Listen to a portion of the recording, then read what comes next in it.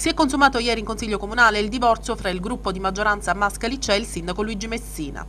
Che vi fosse già aria di crisi e che ieri si sarebbe palesata con una frattura, il, sindaco lo aveva subito percepito, chiedendo per tale ragione almeno una verifica di maggioranza per le valutazioni del caso, richiesta caduta nel vuoto. Così la seduta ha preso subito il via dopo una pausa di un'ora, essendo venuto meno il numero legale, con la dichiarazione al vetriolo del capogruppo Agata Cardillo, che ha annunciato la fuoriuscita del suo gruppo dalla maggioranza consiliare, concretizzando la decisione in più punti. Mancanza di ogni iniziativa tendente ad eliminare l'inconveniente delle strade comunali ridotte a colabrodo il triste primato dello 0% rispetto agli altri comuni riguardo alla raccolta differenziata, la mancanza di iniziative di grande respiro da parte dell'amministrazione, la prevaricazione dell'amministrazione rispetto alle prerogative del Consiglio, il divieto di accesso ai consiglieri agli atti fondamentali per la gestione dell'ente, la mancanza di trasparenza, tempi burocratici troppo lunghi che non vengono incontro alle richieste dei cittadini, nessuna politica che possa essere incentivo di attrazione per gli imprenditori esterni.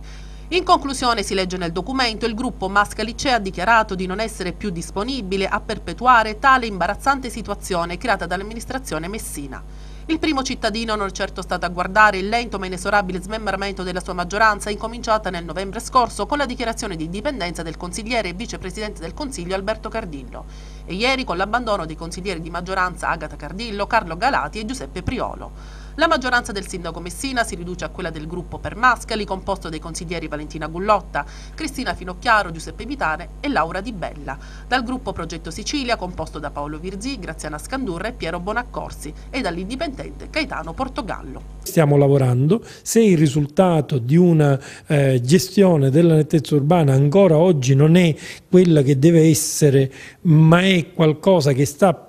facendo il suo percorso come naturale e che era stato trascurato per otto anni, è ovvio che chi oggi ha un risultato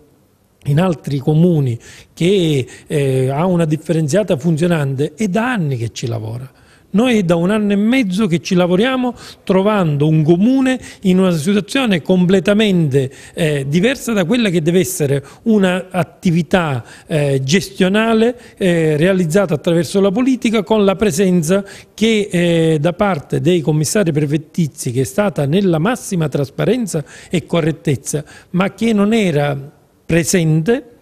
come doveva essere, come è presente questa amministrazione ogni giorno dietro gli uffici per cercare di dare quel senso alle attività con risultati evidenti che si vedranno nei prossimi mesi, con il risultato di aver ottenuto quasi 3 milioni di euro di finanziamento solo nella nostra amministrazione in un anno e mezzo. Abbiamo messo il massimo dell'impegno, il massimo della trasparenza, il massimo dell'onestà e tutto questo si vede negli atti in un'attività che è trasparente e che eh, è incontestabile. Pertanto ecco questo è il risultato dell'amministrazione che non è completo, che deve essere completo e giudicato nel corso di cinque anni. Ma chi ha fatto parte della maggioranza,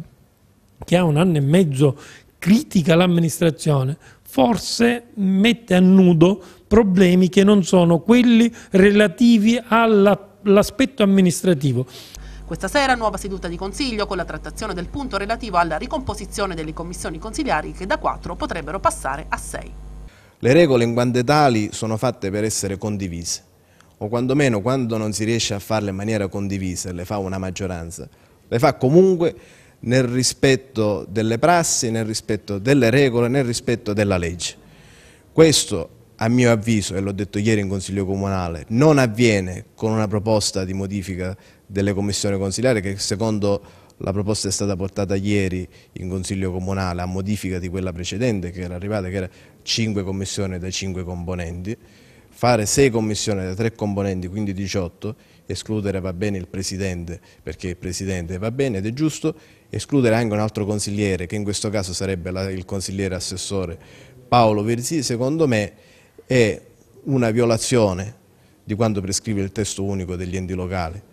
di quanto prescrive il nostro statuto, di quanto prescrive il nostro regolamento, secondo il quale tutti i consiglieri hanno il diritto di fare parte delle commissioni consigliari in quanto consiglieri comunali.